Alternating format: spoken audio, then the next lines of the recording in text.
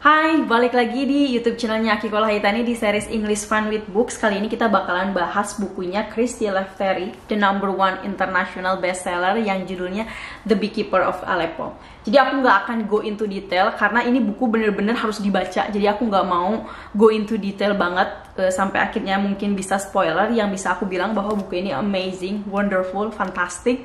Um, buku ini bikin aku nangis dan ini salah satu buku yang mengubah perspektif aku tentang situasi kondisi perang di Timur Tengah gitu. Jadi uh, secara garis besarnya kalau misalkan kita selama ini masih berpikir bahwa kondisi uh, perang di Timur Tengah itu semata-mata dilatar belakangi oleh uh, konflik keagamaan itu salah besar. Karena uh, sebetulnya ada lebih banyak hal lagi yang terli yang menjadi faktor kenapa Timur Tengah saat ini uh, menjadi uh, daerah konflik gitu. Situasi politik uh, kepentingan penguasa dan segala macam. Anyway um, cuman snapshot aja. Jadi si The Beekeeper of Aleppo ini bercerita tentang pasangan muda Nuri dan Afra yang harus meninggalkan kota kelahiran mereka uh, untuk mencari asylum atau refugee ke UK dan perjalanannya pun nggak mudah. Jadi um, mereka meninggalkan Aleppo itu dengan cara ilegal, smuggling namanya. Jadi mereka membayar seseorang untuk membantu mereka keluar dari Syria dan itu pun nggak langsung dari Aleppo ke UK. Jadi dari Aleppo mereka harus ke Turki, dari Turki mereka harus ke pulau kecil di dekat Yunani. Terus dari situ mereka ke Athena, dari Athena mereka ke Madrid, dari Madrid baru mereka ke UK. Dan setelah sampai di UK pun mereka tidak langsung mendapatkan apa yang mereka mereka uh, cari gitu. Ada banyak proses yang harus mereka lalui sampai mereka bisa akhirnya diakui atau mendapatkan uh, perlindungan dari pemerintah UK gitu.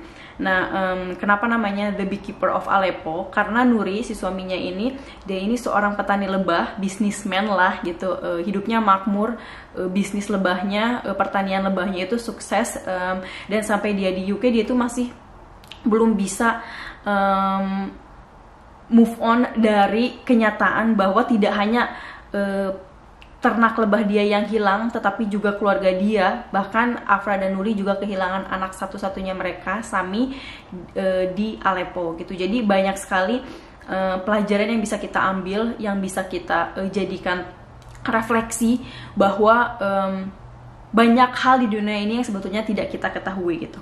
Anyway, itu uh, cerita singkatnya tentang si The Beekeeper of Aleppo. Tahu lah ya kenapa uh, ini menjadi salah satu, bukan salah satu, menjadi nomor satu international bestseller karena memang ceritanya ini bener-bener menyentuh hati gitu. Nah terus ada beberapa vocabulary, ada 16 vocabulary yang pengen aku uh, bahas di video kali ini. Um, uh, sebelumnya aku ada beberapa notes di sini yang pengen aku uh, bahas atau yang pengen aku aku ungkapkan gitu. Di sini aku take notes. In the midst of war, he found love. In the midst of darkness, he found courage. In the midst of tragedy, he found hope. What will you find from his story? Jadi di situ kita dituntut untuk mencari menemukan uh, apa yang kita yang kita dapatkan dari baca buku ini gitu. Nah, kita mulai ke vocabulary yang pertama. Jadi buku ini itu sangat-sangat menyentuh. E, di sini menyentuhnya tuh pedih gitu. Enggak menyentuh secara bikin kita terharu, tapi menyentuh bikin kita tuh merasakan kepedihan mereka gitu. E, nah, namanya ini adalah poignant. Poignant ini adalah menyentuh, tetapi menyentuh secara sakit gitu, pedih. Nah, terus yang kedua ada forage. Forage ini makanan ternak artinya um, kalau kalian baru nonton video aku jadi aku tuh take notes untuk vocabulary yang aku belum pernah dengar sebelumnya gitu. Tapi ada beberapa yang memang aku udah pernah dengar tapi aku kadang lupa artinya. Nah si forage ini kenapa aku masukin? Kenapa makanan ternak ada di videonya Akiko? Karena uh, si Nuri ini kan tadi petani lebah gitu. Jadi dia bercerita tentang kehidupan dia ketika uh, sebelum perang um, dia uh, mencari uh, pakan ternak ke mana, apa yang dia buat untuk uh, si untuk memberi makan ternaknya dia gitu. Jadi ada namanya forage. Aku pun baru tahu ternyata makanan ternak itu namanya forage gitu. Um, tapi ini juga bisa jadi kata kerja. Jadi forage ini kata benda yaitu makanan ternak tapi ketika dia menjadi kata kerja forage ini artinya hunting atau e, berburu atau mencari makanan ternak gitu nah terus yang ketiga ada carcass carcass ini bangkai hewan Kenapa ada ada bangkai hewan di vocabulary-nya Akiko? Karena Nuri juga bercerita tentang kondisi Syria atau Aleppo ketika perang sudah tercetus gitu. Tidak hanya bangkai manusia, kalau bangkai manusia namanya corpse, uh, tetapi juga bangkai hewan yang banyak ditemukan di kota-kota tergeletak begitu saja gitu. Jadi namanya carcass. Terus yang keempat ada persecution Persecution ini artinya penganiayaan karena ras, politik, atau keagamaan. Singkatnya, persecution itu kayak semacam oppression lah, penganiayaan eh, khususnya ketika ada konflik di lingkungan mereka gitu. Um, jadi kita bisa pakai oppression atau persecution gitu. Nah terus yang kelima abrupt. Abrupt ini tiba-tiba.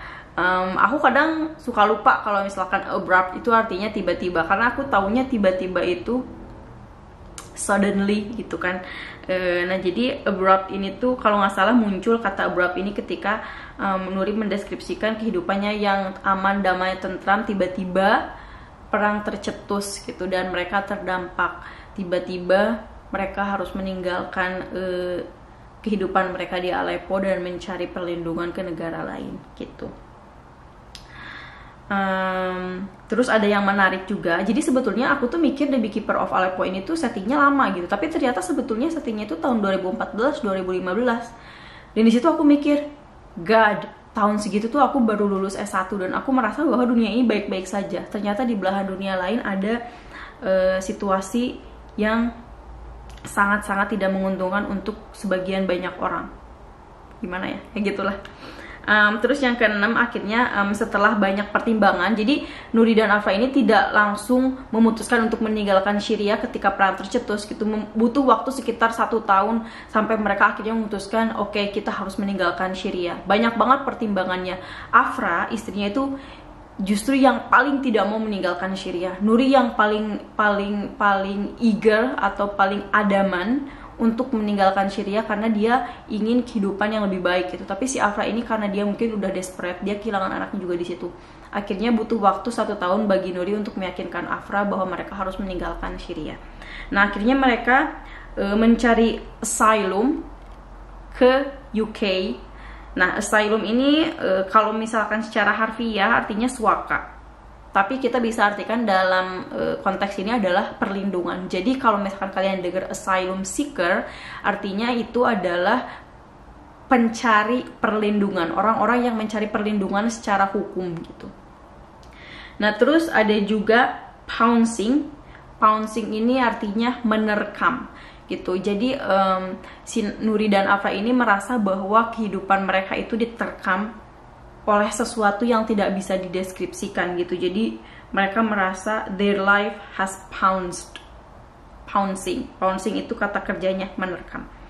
Selanjutnya, ini ada ada yang ada hal yang menarik terjadi pada si Nuri ini gitu. Ketika aku baca buku ini aku rasa oh ternyata yang sakit secara mungkin yang terdampak paling besar secara mental itu Afra. Tapi ternyata setelah aku baca ini Nuri justru memiliki kondisi yang yang jauh lebih um, lebih lebih berbahaya atau lebih terdampak daripada Afra gitu sehingga Nuri ini start to jabbering away jabbering away ini kayak bicara dengan cepat ketika dia berbicara dengan Nuri eh, dengan Afra sorry Nuri ketika berbicara dengan Afra si Nuri ini ngomongnya kayak lebih cepat terus kayak dia sering ngomong sendiri juga gitu. Tapi bagi Nuri dia tidak ngomong sendiri gitu. Bagi Nuri dia berbicara dengan orang yang dia ciptakan dari imajinasinya dia gitu.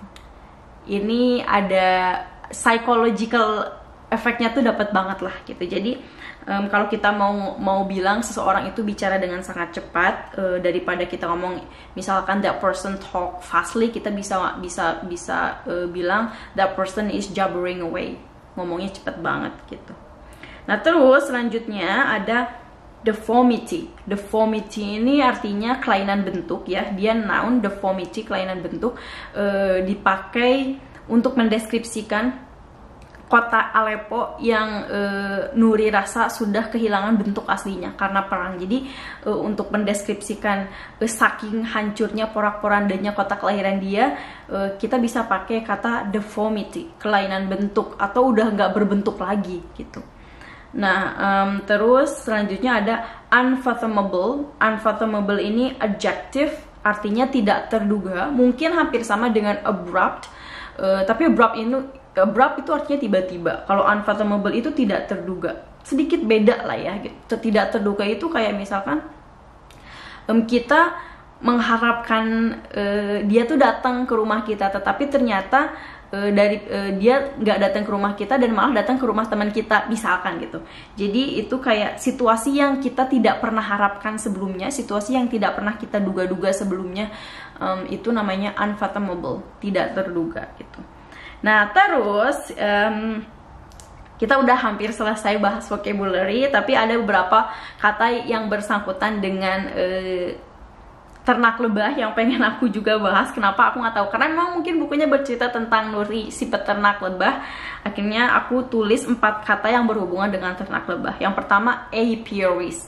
Apiaries ini artinya tempat pemeliharaan lebah. Jadi uh, mungkin kalau misalkan kayak semacam kalau misalkan ada uh, petani atau ternak uh, hewan lain kayak misalkan um, ayam, kambing, sapi itu mungkin namanya kandang kali ya mereka ada di kandang gitu. Nah kalau kandang lebah ini uh, atau tempat di mana beternak lebah ini ada namanya namanya apiaries gitu.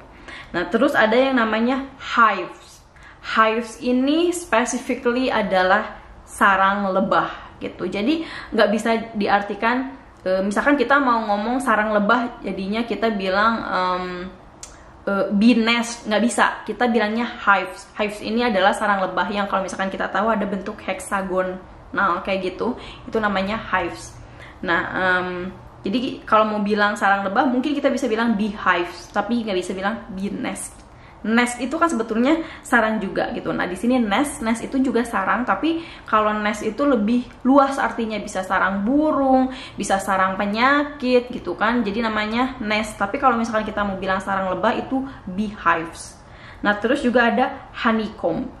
Honeycomb ini artinya sarang madu.